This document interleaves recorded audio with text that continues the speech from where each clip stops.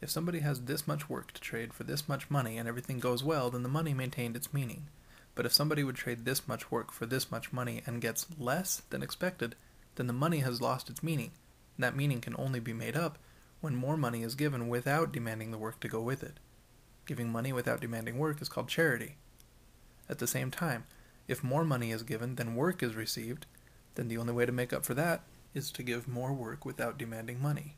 Working without demanding money is also called charity. Both of these will restore money's original meaning,